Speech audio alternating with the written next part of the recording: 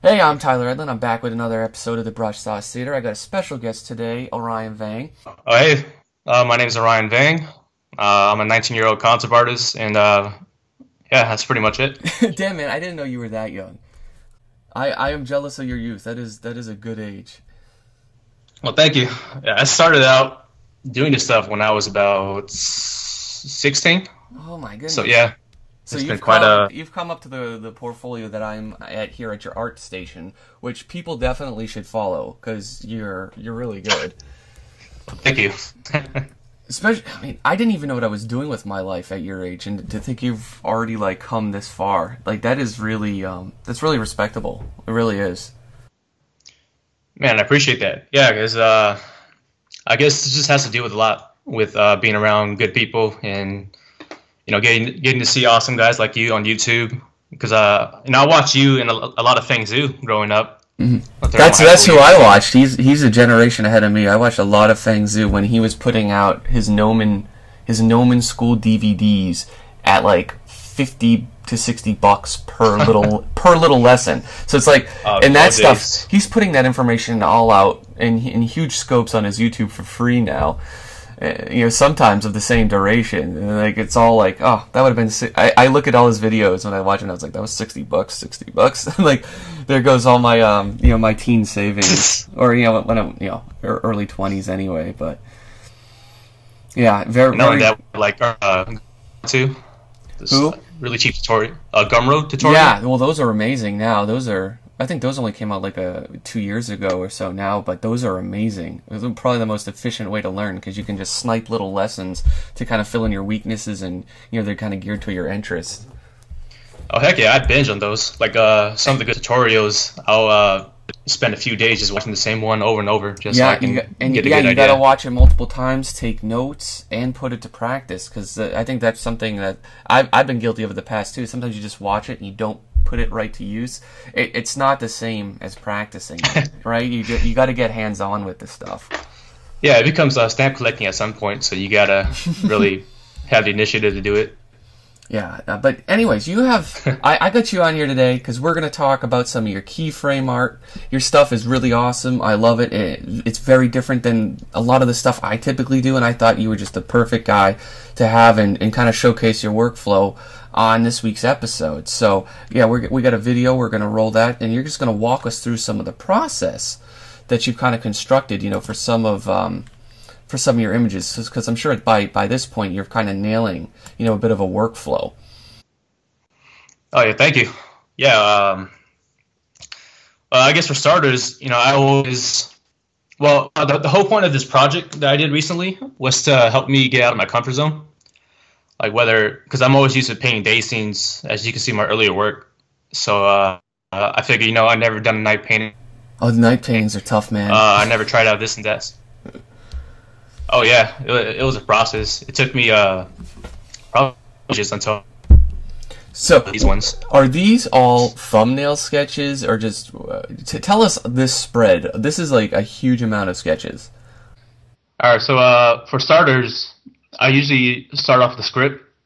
It's, uh, you know, nothing too dedicated. It's just something short to help drive the story and to give me uh, some more ideas. And uh, for this project, you know, I'd never done anything grounded, nothing military-like, so I figured, you know, why not start off with that, uh, so that way it can bridge me towards more of a sci-fi and uh, or like industrial sci-fi type of genre. So, uh, so once I have my story down, I generally like to draw a lot of sketches to kind of help me get an idea of what I, I can do next. And uh, these sketches aren't really final as well. You know, they're always just there to give me a general idea.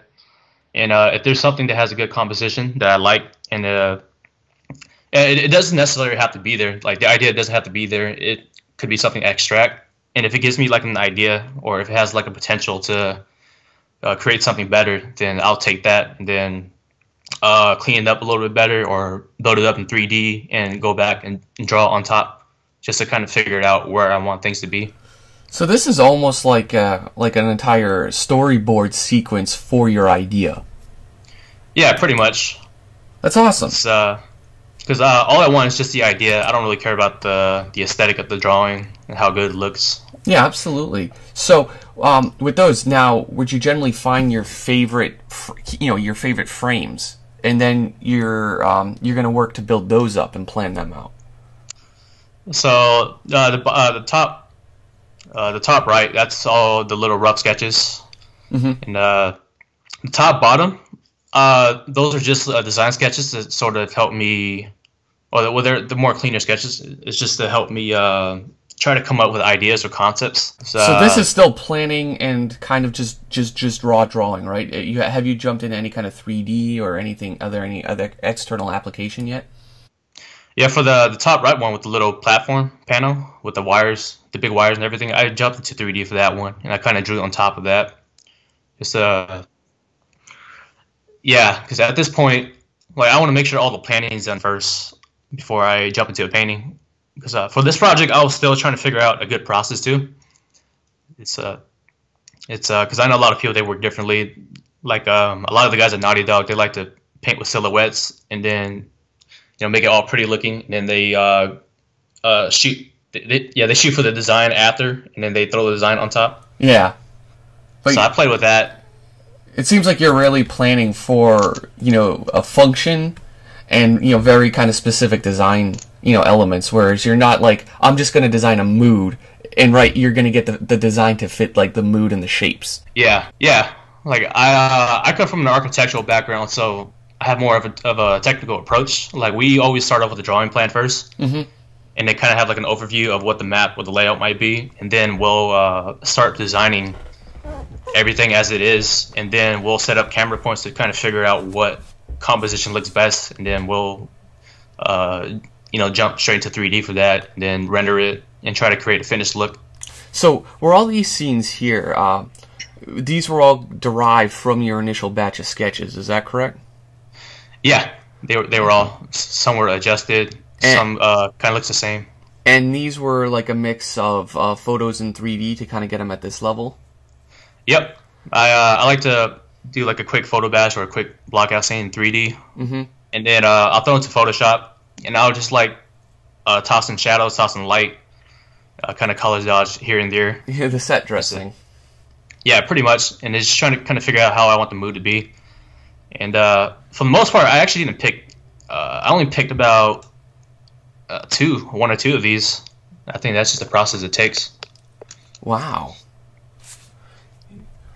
Well, that that is you know that's a ton of um that's a ton of work that you definitely kind of committed to on this, and a, well a lot of planning, which I which I think you know shows in in your final images. Like like it, it always is worth the effort, you know, to kind of plan properly. Yeah, I feel like uh, for me, it's a lot funner that way. And plus, uh, you don't you don't ever hit an art block if you have everything planned out before you Dude, paint. I can I can relate to this so hard, and th- which is why like my um, my general personal work that I, I upload and post is like on a such a, a lower scale than than some other people's because like I'm too busy like planning out little details and stuff that like nobody will ever see or hear about, but I'm like thinking about, and I'm like, what is you know what is all this nonsense? And I'm like I've like sheets and sheets of, of nonsense sketches that may or may not ever plan out, or if I'm drawing a scene, I'm like drawing the little shapes of the trees to see if they will all work. And yeah, I don't know. Some people Right. just right. Some people can just go at it, whip out a painting or two a day, and just like kind of go at it really carefree. But yeah, I've been. Yeah, I can kind of feel your planning. Yeah, I totally understand that. It's because like even when I look back at my uh, uh, previous works, I realize you know a lot of stuff is too over detailed. There's a lot of textures everywhere, so uh, it's definitely a learning process. So now you're showing us a bit into the 3D side of things, and I see this is Blender. Yeah, uh, I don't want you and Dimitri to hate me, but uh, I jumped from Cinema 4D to Blender. Really? That's because, yeah, the, the the tools are so much. I mean, I like for a concept artist, the tool, all the tools are there to make it easier and to make things uh, faster for you. awesome. Plus, Blender has a and Blender is free, right? Yeah. yeah, Blender's completely free. I think it's too good. To Hear that, everybody free, watching? but, this uh, this program that he's using to make these awesome cinematic images is free. you don't Yeah, need to go buy some three thousand dollar, you know, Maya or S Max package. Right, and uh, the way the render works in this, uh, the built-in render works in Blender. It works just like KeyShot. If you have like a specific plugin, I Okay, so that isn't in there by default, but you can. Do you have to buy that additional plugin, or, or is that free somewhere? Um, it's on Gumroad. I, I believe it's pretty cheap, uh, like about ten dollars. Awesome. Yeah. Well, hopefully Yeah, you so- can help me hook me up with that link we can include in the video if anybody wants to check it out. Oh yeah, for sure. This is awesome. I didn't know I didn't know Blender had that sort of capability. Yeah, Blender has so much uh, power to it. Even the new update, it's going to have its own real-time render, just like how Unreal Engine has it. Oh wow, So, so it's going to be a big game changer. awesome. So I, of course now that I know this, I'm gonna have to have you back on a future episode to give us a brief overview of yeah. Blender. you can give us a little walkthrough on that. Yeah, sure. That would be amazing. So, explain here what's what's going on with your, what you're seeing now. All right, so right now this is just like a uh, demonstration of how I set up my scenes. Mhm. Uh, what I like to do is I like to spend about like an hour to two hours a day making pre-made assets, Mhm. and then uh, the cool thing about Blender is that you can load all of them in pretty instantly. So uh, in, in this scene, I'm just showing an example of me just loading in uh, stuff I've made, just trying to put everything together. So you built all the little individual um, assets in your scene that we're seeing rendered out kind of at the bottom. yeah, Awesome. You're building So yourself then- a little 3D library. Yep, pretty much. It's just a because 3D you can get lost in a lot of details in 3D. So for me, I try to limit that by providing myself stuff that I've already made. Yeah. It just shortens the time. It just makes everything so much faster. Well, I think too that's that's what I exercise when I when if I'm using 3D. It, it it always gives you more information than you'll probably need. You know, when you export it or or go to make it a final. And it, a lot of the artistry I feel comes in like how you can use color and light and stuff to hide the unnecessary. Because a really clean 3D render will always give you so much information. Oh, it does. And uh, plus, when you go into post processing, you realize, man, I'm only just gonna simplify this part. So you know, I've wasted a lot of time just detailing this part of the in the 3D phase. Now, do you ever use any pre-made or you know existing assets that people put out online for free, or that you can download? You know, kit bash sets. Have you ever got into any of that, or do you pretty much strictly use your own um, your own creations? Uh, I've done both. Uh, I've done I've done my own creations more. It's just that like uh, like if it's something if the design is timeless, you know, like a classical Roman thing Yep. or uh, whatever it is, then I'll I'll definitely take full advantage of that.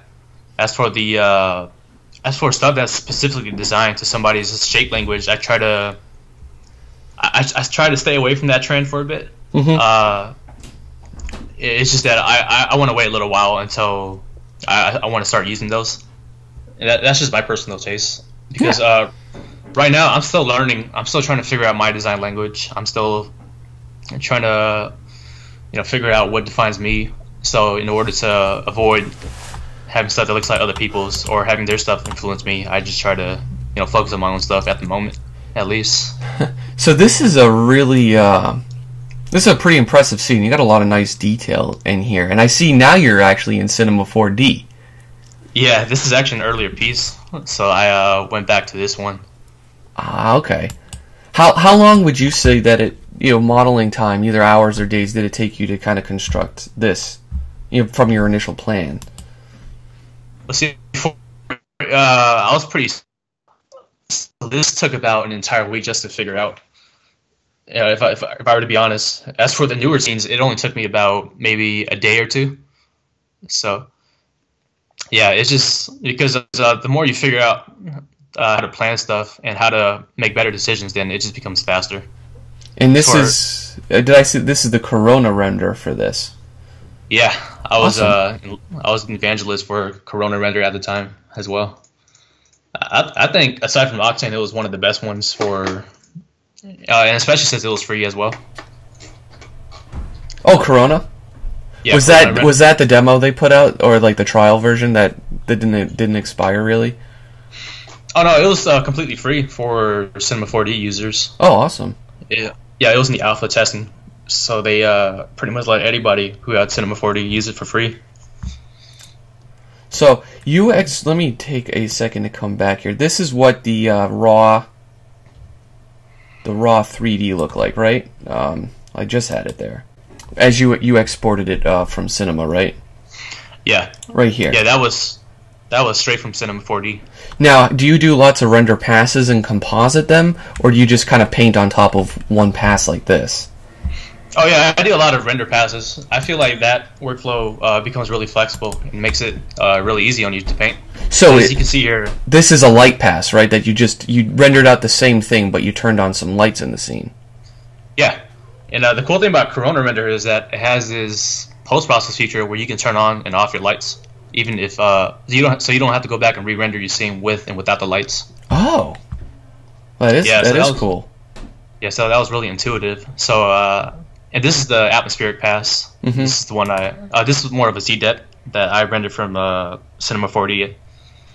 Okay, and, so uh, this at this kind of darkened, you know, some of the the shadows and stuff. Yeah. So, uh, generally, when I do render passes, I always uh, render an ID, like a surface ID, Mhm. to kind of select things better. Um, an indirect pass for like the just like the ambient light, and Mhm. then uh, any direct light in the atmosphere, and uh, that's pretty much all I need to get myself started. Okay, awesome. And so now is about now when the actual uh, painting and the post processing aspect would would kind of work. Yeah, it's uh, you know, everything is just there because the cool thing about render pass is that you can control how much you want it and how much you don't want it. Mm-hmm. So that's what I do, and uh, generally when I post browses, I always uh, the first step I always take is try to break up the CG look as much as I can. So Yeah. That way, it doesn't look too 3D. Now, did the, these people I see that jumped in here? Now, are they all just done with with photo uh, manipulation, or did you? Yeah, I just yeah I just threw in the photo in there just to see how I Mhm. want the idea to look. I think they look great. That's a very uh, you you kind of got really lucky with that camera angle on them. That they look they look like they should be there, which is awesome. Oh, thank you. Yeah, so uh, I threw them in there, and then along the way, They had to get cut. yeah, it, it just had to get cut. Even though uh, it would have been better to add some more story-driven stuff into the scene, hmm but I just felt like I I just wanted to get this done, and uh, So now To you're, honest- changing up some of the geometry too. yeah, because sometimes, uh, well, like the without the concrete wall, it looked a little bit boring with just the gate and the Mhm. the barrel. So I figured, all right, just throw in the concrete wall, and uh, yeah, I don't know about you, but characters. Like I don't, I never have a problem painting portraits, but when I'm painting characters in environment scene, they just seem like a super dry process. Yeah, it's something I always say for last. Um, regardless if I plan certain characters to be in the scene from the start, there's something I always just do last. Right. yeah, well, uh, all, well, for me because they're they're like a, hard to work because usually the environment can look really really good, and unless um, you know I can find some good tricks to get the characters up at that same level and in a timely manner. I think getting the budgeting the time to get them to look that nice is, is the tricky part. But yeah, um, but they're also a product kind of of the environment. They're going to be affected by the environment in every certain way. So I like to have the environment figured out first for that reason. Yeah, that's very true. So that's something I have to pick up on um, in the next few pieces. So this is uh this is another piece you worked on, the power plant. Yeah, for uh, this is actually the very last piece I've worked on. Mhm. I've I finished. I I I, work, I wanted to call this project done because I've been working on it for a couple months, Mhm. and uh, I figured, all right, you know what? Because I looked back at all my pieces, I was I said, you know what? None of these really stand out. Some uh, maybe I should do something with a more a clear or better subject matter or something that's has a little bit of a design to it. Mhm. So, and uh, I don't want to spend too much time on it too, so I just skipped out the 3D phase and uh, wanted to jumped, photo you started this one then from from uh, kind of like a, a photo base, Yeah, right? If we go back, that's something. yeah, like this, and then you just uh, basically color corrected and then painted it in. Uh, pe- well, that's yeah, that seems like a very good way of working as well. Yeah, because a lot of my uh, workflow comes from learning 3D a lot. Because uh, cause like playing around with channels, well, uh, with like reflection maps in 3D, Yep. uh, kind of influences how I manipulate my channels in Photoshop.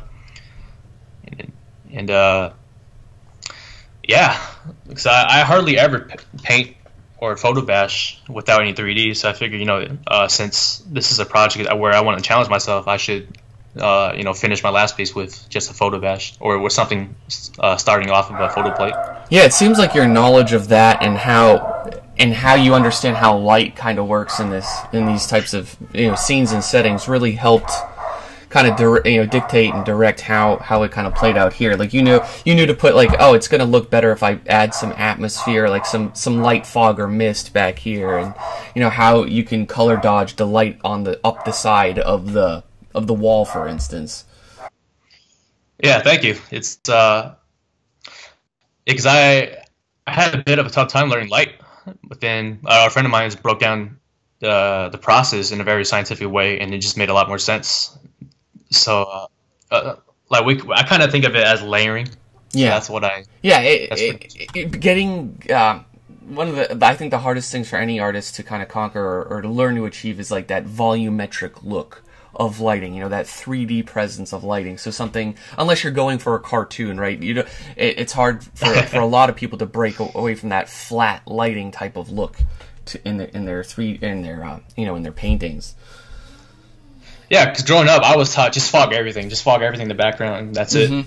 But I realized there's uh, you know, going outside, I realized there's a lot more to that. Like yeah. uh, if you look near where the sun is, uh, the fog's a lot more amplified in that area mm-hmm.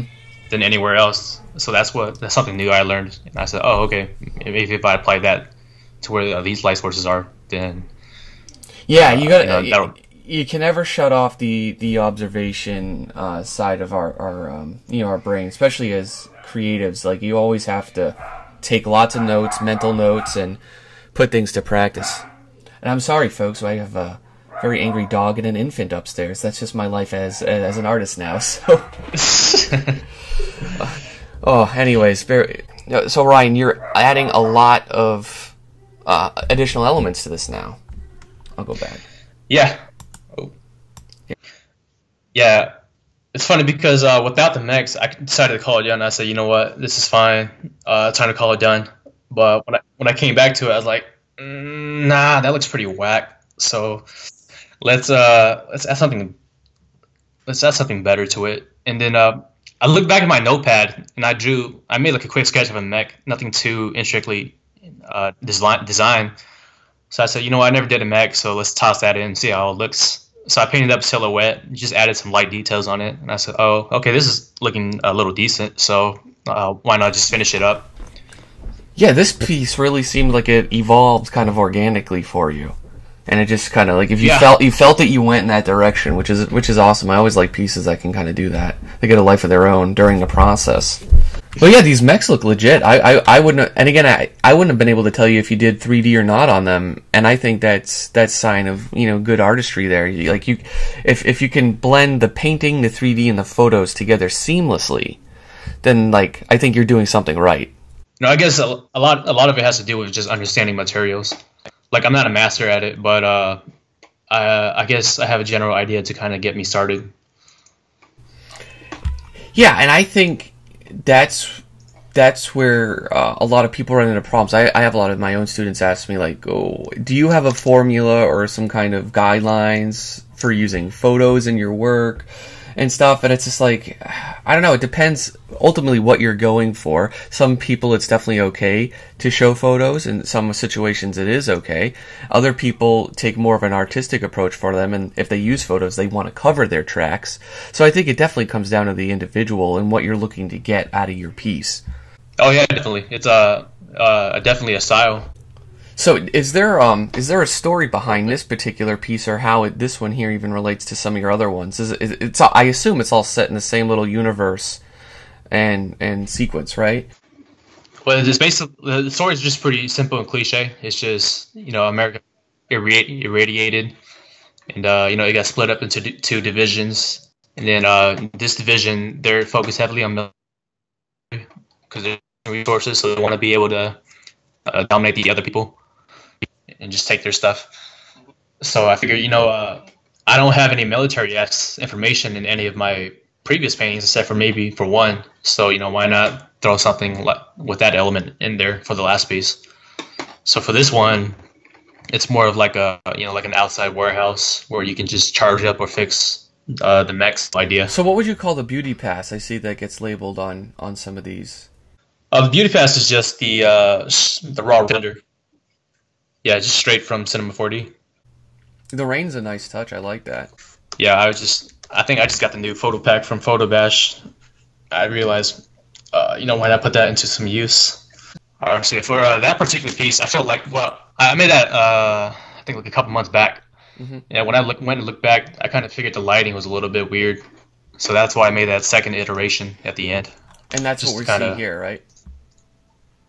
Yeah. And you simplified things, so you know that. Uh, the sky felt a little bit too weird. Yeah, that's something I have to work on definitely. Cause, uh, I'm so used to over detailing everything, and then uh, when I look back, I realize, you know what, some stuff can definitely be left uh, simplified, mm-hmm. and uh, I'm pretty sure later down the road it'll save a lot of time as well. This scene came out great too. I love the uh, the atmosphere that you painted in there. And so these are the, these are the four finals from from your your project, right? Yeah. So these are the four pieces that I like out of, uh, you know, probably ten or twenty pieces that I did out of the project. And I guess that's just concept art. Yeah, know? right. For everything you see, or for anything anybody ever sees on a project like a game or a movie, there's always hundreds of pieces behind them that the public never sees. Oh yeah, because uh, I have the art book of uh, Avatar, and there's just so many production paintings and drawings that I would have never seen online. So that's just generally. If you were to give a few tips to someone looking to get into this keyframe art, uh, what what would you advise them to do? Like, where, where would they begin? Should they learn 3D? Should they focus on art fundamentals? Yeah, definitely work on the fundamentals at the same time to give yourself a subject matter. Uh, learn some design as well. Mm-hmm. You know, whether that storytelling or set dressing or uh, design art surface. So, like, if you're studying perspective drawing, then draw a lot of geometric shapes and draw, uh, learn how to cut shapes, learn how to manipulate edges, and then just kind of like design a car or something, you know, just mm-hmm. something to give you a subject matter to work off of. And then eventually, as you go, you know, you'll you'll learn along the way. Mm-hmm. Yeah, because like th- there's there's a lot of different disciplines I would say that goes into something like this. There's obviously composition. There's there's like there's cinematic lighting. There's uh, you know there's narrative design. Uh, you know, there's there's industrial design elements in there as well. You know, when you break it down to your mechs, when you break it down to the uh, the, the, placement of the jeeps and stuff. There, there's a lot of this is the sum of like a lot of smaller disciplines. Oh yeah, definitely. This is uh, because for me, like I, I didn't uh, learn everything from a straight shot. I had to like zigzag around a lot. Mm-hmm because I, I, didn't have the right kind of guidance. Uh, you just uh, developed myself as an artist, so I had to f- figure uh, I had to realize, okay, I have to take a step back and learn this because that's why I'm having a hard time uh, doing this and that. Yeah, so and, I, uh, I think troubleshooting your own work or being able to look at your image objectively to ask yourself what is not working about this so that you can go back and, and study or fill in the gaps, right? Of, of what is just looking out of place or not up to the quality of, of the, the work you're aiming to achieve. Right, right and that, and, uh, that's, that's a tough thing for a lot of people to do. It definitely is. If because uh, for me, I think it because I, I, had a lot of confidence issues too as an mm-hmm. uh, as an artist because just seeing so many awesome work online, it's like, oh, I'm never going to be as good as them. So, and then uh, you know, you just have to tell yourself, you know what, uh, you just got to keep pushing through, just keep learning. And as soon as you feel like you have, if if you make a piece and you feel like something is wrong with it, then you should just take that immediate step to go back and try to you know troubleshoot everything and yeah. i think that way you learn uh, a lot faster yeah that's definitely a very you know a sound piece of advice and you, you gotta always just like if something's not working don't go work on or i think the go-to thing for a lot of uh, beginner artists is if something's not working or they don't know how something works in their scene, they'll just go start detailing something small in their scene they're more comfortable with. And then they'll keep repeating that process until you have you have a full scene that's tons of like detail everywhere, but the sum of all the parts are just not adding up to make a nice, strong, cohesive image. Yeah, definitely. That's uh, that's just like uh, pretty much like drawing with the bangs over one eye and the hands behind the back kind of thing. right? exactly. Or or the feet Yeah. behind, uh, you know, something. Like Yeah, standing yeah. in tall grass or in the water, or we- we've all done that. It's just like, how do we hide something awkward or you know avoid something confrontational that you know internally gives us uh, struggle? Yeah, exactly. So uh, for anybody out there who's struggling with that stuff, you know, we've all been through it. So you know, I'm just trying to And, you just got to help out how I can. Yeah, and you just got to face your problems head on, and, and embrace them, and, and don't be afraid to fail. Uh, you know, making lots of bad images. I see artists that are too afraid to make a bad image. It's like well, that's part of the process. Oh, definitely. Because as as somebody who's learning a lot, or who's still learning too, like I realize what's uh, you know separates me from the rest is just uh, being able to film better decisions. Very nice. Well, Not that I'm saying I'm anywhere near. oh, All right, thank you for coming on and talking to us about this today. It, it's been a pleasure. oh, dude, thank you. Uh, I really, it's really an honor to be on here. And yeah, we're gonna have link to your portfolio in the uh, description, as well as the you know the the Blender plugin, and uh, of course the PhotoRef site that you you like and prefer. So if anyone else wants to kind of experiment with this stuff and head down this path, that's where you'd be able to kind of find some of those, at least those initial resources. But uh, thank you for watching. Leave us, leave myself or Orion a, a question in the, the comments section if you'd like. And yeah, take care. Thanks for watching, particularly if you made it to the end here. If you'd like to support the channel, please like, share, and comment. You can find me on Facebook, ArtStation, and Instagram. Now, I share different content on each platform, so feel free to stalk me across the web. To join the Brush Sauce community as linked below. We do hangouts, have a Discord channel, host challenges, and support each other in artistic growth. Finally, if you'd like to inquire about my one-on-one mentorship program, head over to tyleredlinart.com, click on the mentorship tab for information, and shoot me an email. Also, I run two courses at the Computer Graphics Master Academy. Feel free to check out those as well. Take care.